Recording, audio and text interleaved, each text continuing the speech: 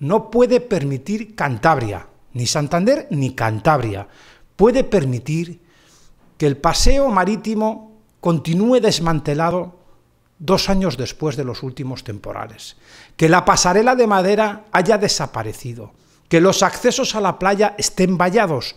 No podemos permitir que un lugar de tantísimo interés turístico como es ese entorno de la península de la, Magdalena, presente el aspecto que presenta sencillamente porque la ministra de Transición Ecológica, Teresa Rivera, y la delegada del Gobierno en Cantabria, Inoa Quiñones, no están dispuestas a cumplir con sus obligaciones. La ley de costas les exige el mantenimiento en condiciones del dominio público marítimo terrestre. Para otras cosas, la ministra Teresa Rivera es bien exigente en el cumplimiento de la ley de costas, cuando afecta a los demás. Cuando le afecta a ella no es tan exigente.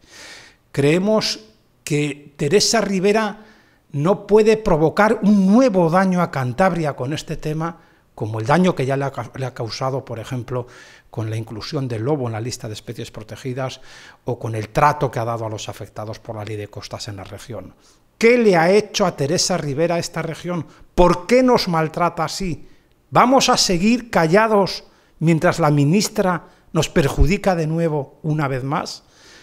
Que Teresa Rivera y Ainhoa Quiñones cumplan con sus obligaciones, que están ahí para algo más que para cobrar un sueldo a final de mes.